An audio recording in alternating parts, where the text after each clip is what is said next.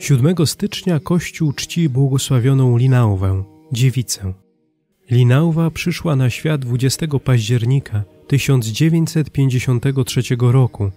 Była córką Jana i Marii Łucji, mieszkających na północy Brazylii. Miała jeszcze dwanaścioro rodzeństwa i troje starszego z pierwszego małżeństwa ojca.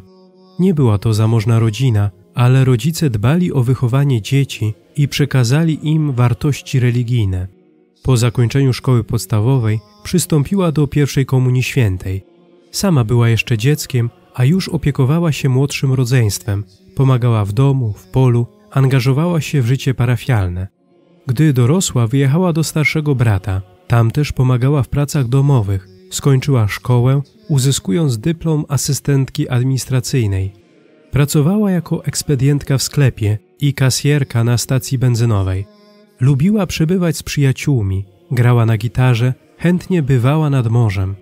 W 1982 roku wróciła do rodzinnego domu, by opiekować się chorym ojcem. Po jego śmierci, w wieku 33 lat, wstąpiła do zgromadzenia sióstr miłosierdzia świętego Wincentego a Paulo w Natal. Wcześniej ukończyła kurs pielęgniarski i przyjęła sakrament bierzmowania. Po formacji 29 stycznia 1991 roku złożyła ślub czystości, ubóstwa i posłuszeństwa. Posłano ją do pracy w domu opieki w mieście Salwador. Opiekowała się czterdziestoma starszymi mężczyznami. Troszczyła się nie tylko o ich potrzeby materialne, ale i duchowe. Prowadziła wspólne modlitwy, rozmawiała z nimi, znała ich radości i problemy. Ukończyła nawet kurs prawa jazdy i zabierała ich na wycieczki. Ta posługa dawała jej dużo szczęścia, radości i pokoju i tymi wartościami obdarowywała innych. W 1993 roku przyjęto na jej oddział Augusta, który był dużo młodszy od wszystkich pensjonariuszy, ale był protegowanym. Od początku napastował Lindawę. Zgłosiła to odpowiednim przełożonym. Upominany obiecał zmianę postępowania. Wielki Piątek 9 kwietnia 1993 roku o godzinie 4.30 uczestniczyła w drodze krzyżowej w kościele parafialnym. Około godziny siódmej przyszła na oddział i przygotowywała śniadanie swoim podopiecznym.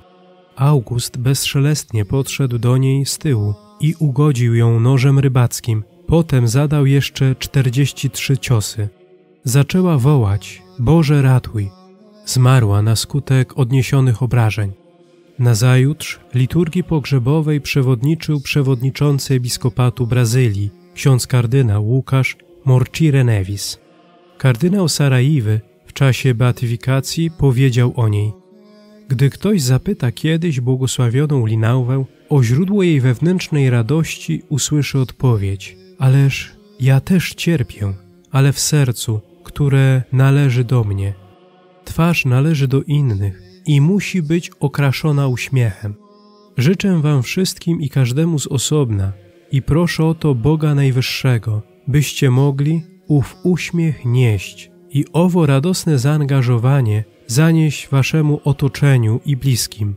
Owo świadectwo radości, przemieniające wszystkich wokół i będące być może najbardziej fascynującym dziedzictwem nowej błogosławionej, mające swe korzenie w niewypowiedzianej radości bliskości stóp zmartwychwstałego Chrystusa, w świadomości, że jako dzieci Boże jesteśmy powołani do świętości i świętość jest drogą wolności dla każdego z nas. Została beatyfikowana 2 grudnia 2007 roku. Jej wspomnienie liturgiczne na dzień 7 stycznia wyznaczono w rocznicę jej chrztu świętego. Módlmy się.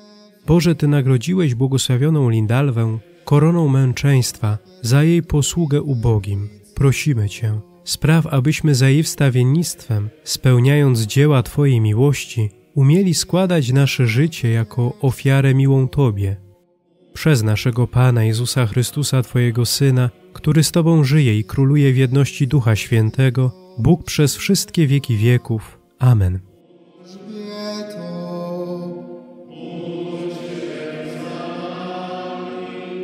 Wszyscy święci, święte Boże.